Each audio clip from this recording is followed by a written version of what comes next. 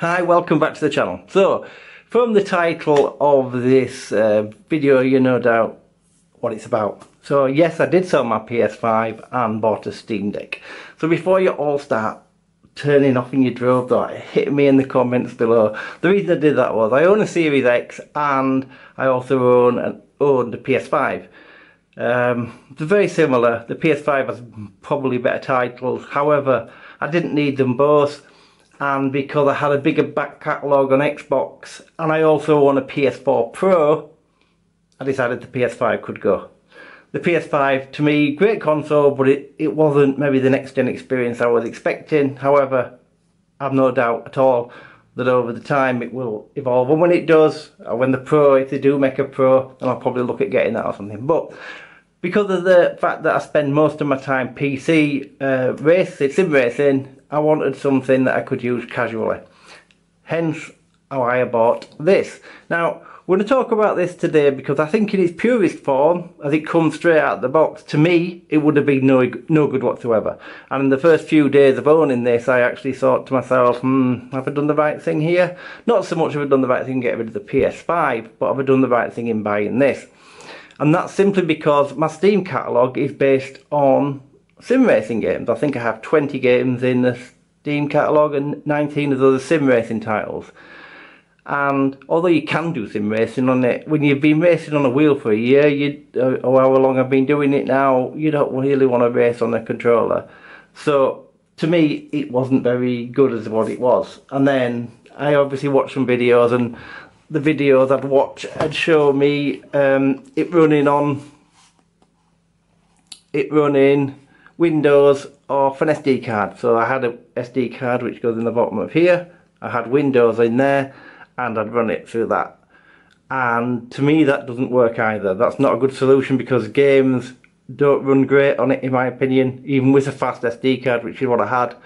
So I've now set this up as a dual boot machine. The video is not going to be on about how to dual boot it because there's people that can do that very well and I watched a tutorial and found it really easy to do. So now this dual boots into Windows or Steam OS. I have a very small Steam OS um, partition which is only 50 gig and then in the bottom of here I have a 256 gig SD card so if I want to run more safe stuff off Steam on here I can do but mainly I'm running this off Game Pass.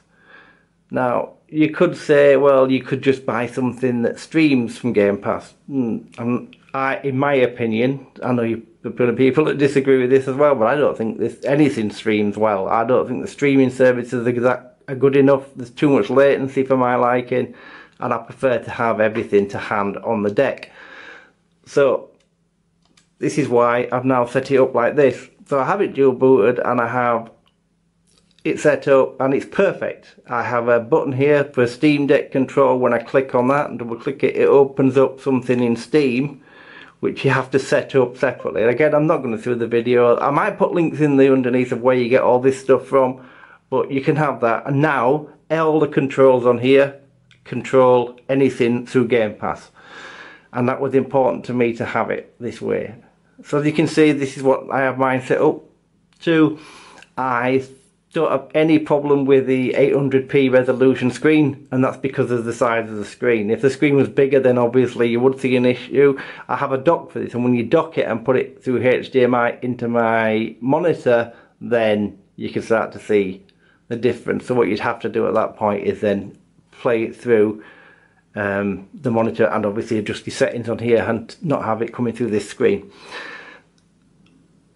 So what I said. Now to me, it's fine, but out of the box, it didn't. And I think there's a bit of a. If you're buying a Steam Deck and you've got loads of Steam games, I think you're going to be happy with this. More than happy because uh, people say the form factor is really big, and it is. The form factor isn't um, small, is it? It's it's a big thing. But I think that if you're if you're going to be happy with playing through your Steam library, that's fine. If you're happy playing through Game Pass I or just playing PC games, I don't think you're going to be. This now responds fantastically because everything's just coming straight off the hard drive. So as you can see, it's loaded up here from the hard drive. This is a, a Game Pass game, but it plays faultlessly. and like I say it didn't before and the other thing you had to do was mess about the controls never seemed to work properly so setting it up this way took me about two and a half hours I'd say and then obviously I downloaded the games. And to me this made it brilliant. Now the, the one great thing for me is on the Steam setup I have emulation station.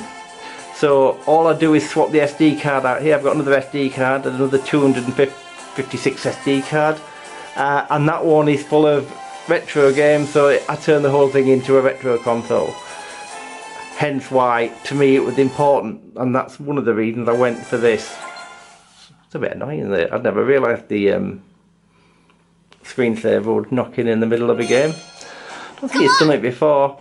So as you can see I hope you can see it in the camera. This thing's really really nice. It's big and it is a bit bulky and there's some things I don't like about it. I don't like these I don't think these pads are the best thing in the world. I do think you need to have a I definitely think if you need to have a keyboard and mouse, especially if you want to do anything on this like setting it up like I did you really do need a keyboard and mouse. So I have a dock attached to this. I picked up a dock in Amazon had a sale uh, a couple of weeks, a week or so ago and it was just a two-day sale. I don't know what it was an anniversary something. I picked the dock up that, that was 40 for 20 so I looked out there, got a dock for 20 quid and then I bought a 60% keyboard and mouth which I picked up for 22 quid which is fantastic value with the mouse money. The keyboard's amazing for the money. Um, and then you have your nice little setup and then obviously I can then plug this into my monitor if I want to do. I don't use it on a monitor, I only did the time I used it on the monitor was for setting it up and that's because it was easier on my eyes but as you can see it's super responsive. Uh, and on a card I found out it, I had glitch, I had glitching on the sound and everything. Now, I haven't experienced that since I set it up like this. Is this this isn't for everybody I don't think, but I think for the money, this is by the way I should have pointed out, this is the 512 gig version, this is the one there, it's a top tier one if you like, I don't know what the settings are, it comes with a case and uh, they all come with a case I believe 512 gig and it's got this non-reflective screen which I do actually like um, you'll see if I do I've got lights above me and you can see it's very diffu it the light really well. You hardly get any bounce back and glare and I can play with this in a brightly lit room without any problems whatsoever. So yeah I'm, I'm a fan but I think they should they need to do work and they need to work with Windows because if when people are going to want to dual boot this thing it's a fact. It is a total fact. If you're playing Steam games, you're playing PC games anyway, you're going to want to dual boot this for the stuff you can't get on Steam, obviously. Um, and I think the integration needs to be better. The other reason I did that, obviously, anti-cheat is a problem on Steam through through the Steam Deck, and some games won't play because of it. Uh, if you play them through Steam on this, because it's just a PC for instance, it's fine, it lets you play. It doesn't think you want to cheat the system or whatever. I don't fully understand how anti-cheat works, but I know that's what it kind of does.